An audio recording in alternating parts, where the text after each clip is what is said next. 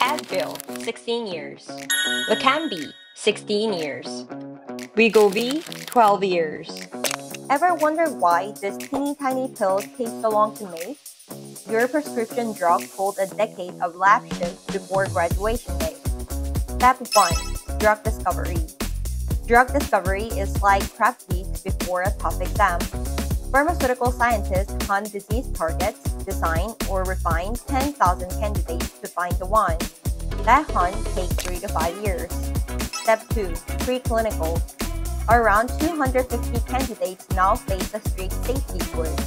One to two years of tests in fishes and animals that answers how much is okay and what could hurt us before human ever swallow a capsule. Step 3. Clinical trials. Clinical trials are the medicine's final exam on the life stage. Researchers run phase 1 around 9 months to check safety, then 2 more years in phase 2, checking effectiveness.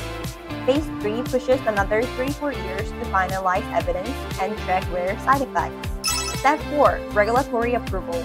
Regulatory approval is the pill's graduation. Regulator read 10,000 pages before slapping approve, which roughly takes a year. Now the pill will be released to the public. Step 5. Post-market surveillance. Approved starts a lifelong report card. Doctors, patients, and FDA's web side effects report forever, and the label can change or drug can vanish if problem happens.